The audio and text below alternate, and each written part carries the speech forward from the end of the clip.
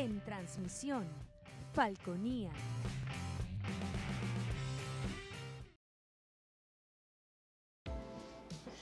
Esta semana bastantes noticias del mundo de la medicina con proyecciones que vienen sobre todo para prevenir enfermedades como el cáncer, prevenir enfermedad cardiovascular, en algunos estudios nuevos que han salido en revistas importantes.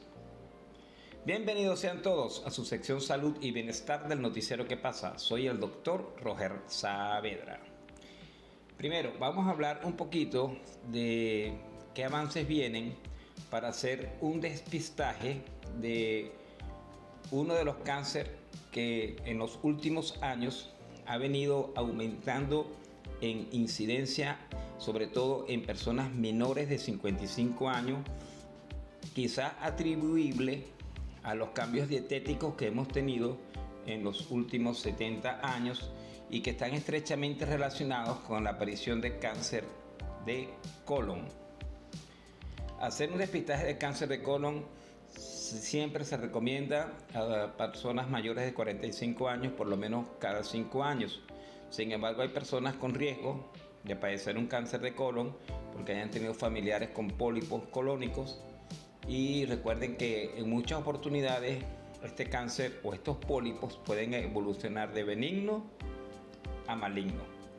Y a veces nosotros con sangre oculta en ese no basta para hacer un diagnóstico precoz de este tipo de cáncer. Ya es un diagnóstico que se considera tardío y no todo el mundo puede hacerse una colonoscopia rutinaria como prevención de aparición de enfermedad tipo cáncer de colon. Entonces, eh, están haciendo un análisis molecular en heces y una biopsia líquida en sangre periférica y pareciera que esto es mucho más sensible y específico para hacer un diagnóstico precoz de cáncer de colon. Esto salió eh, la semana próxima pasada en una revista que se llama New England Journal of Medicine, una, una revista de medicina interna de la Universidad de Harvard, Massachusetts, Boston, y aparentemente eso va a llegar si Dios quiere, y tiene una alta sensibilidad y especificidad en el diagnóstico precoz de este tipo de cáncer, que desde el año 2000 a personas mayores de 55 años y menores de 55 años ha venido aumentando 1% anual. Y está entre uno de los cánceres más comunes que hay, el cáncer de colon. Como es bien sabido, el Congreso Europeo de Cardiología del año 2023 realizado entre agosto y septiembre en Ámsterdam, en Holanda, se planteó que el uso de aspirina era más riesgoso que en la prevención de enfermedad cardiovascular. Por supuesto que la aspirina tiene sus indicaciones en los pacientes que ya han tenido un evento cardiovascular, pero hay un antiinflamatorio que aparentemente está demostrando unos efectos muy superiores y mejor porque tiene un efecto antiinflamatorio sistémico como es la colchicina, es un medicamento que tiene más de 3.000 años usándose, imagínense. Y esto salió el 6 de marzo también del año pasado en esa misma revista New England Journal of Medicine y habla de que la colchicina reduce los eventos cardiovasculares en pacientes con diabetes e infarto reciente. Usar este tipo de antiinflamatorio en este tipo de pacientes aparentemente tiene un efecto beneficioso en la prevención de otro evento cardiovascular. Qué importante noticia también. Y recuerden que esa colchicina también tiene sus indicaciones y no es que se le va a indicar a todo el mundo. Hay que primero evaluar bien al paciente de una forma integral para que el paciente pueda ser medicado con este tipo de droga y no es que se van a automedicar. Recuerden que todo lo que yo transmito es información para educarlos, no es para que se automediquen. Recuerden que para eso hay un cardiólogo en el caso de este tipo de medicamentos para prevención de enfermedad cardiovascular. En el portal Medscape de esta semana, de, publicada el 14 de marzo de este año, fue la semana próxima pasada, perdón, sale un artículo que vale la pena discutirlo. Fíjense, los trastornos neurológicos ahora son la principal causa mundial de enfermedad y discapacidad. ¡Wow! O sea, no solamente la enfermedad cerebrovascular, que puede ser isquémica o hemorrágica, sino que está involucrado lo que es migraña, enfermedad de Alzheimer, enfermedad de Parkinson, trastornos de epilepsia, lesiones ocupantes de espacio, cefaleas vasculares.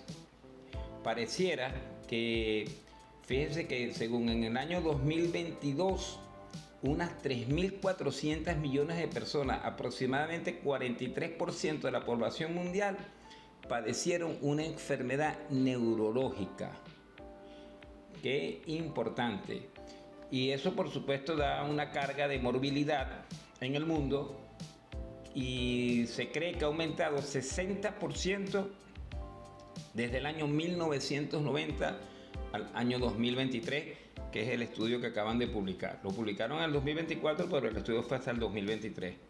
Esto es un hallazgo bastante importante y el artículo me pareció importante discutirlo por lo común que está en la población mundial y al final dicen que estamos viviendo un mayor aumento porque el COVID, sobre todo el COVID prolongado, está estrechamente relacionado con Alzheimer, con demencia senil, con déficit cognitivo, con cefaleas que han quedado de forma crónica en muchos pacientes, hasta mismo trastornos de insomnio y son atribuibles al COVID prolongado.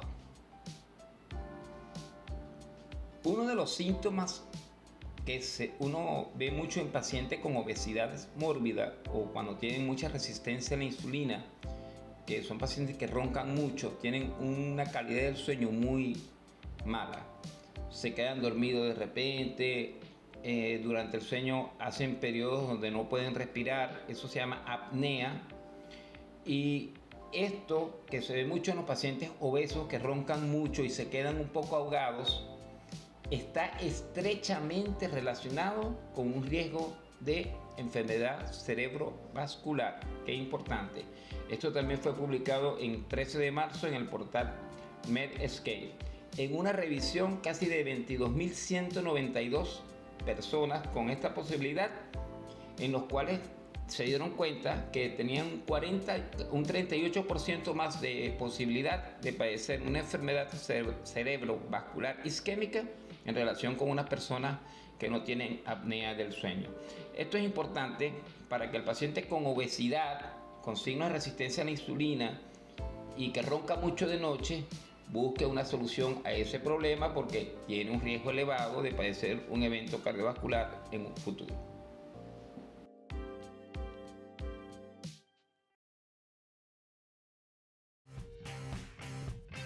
En transmisión, Falconía.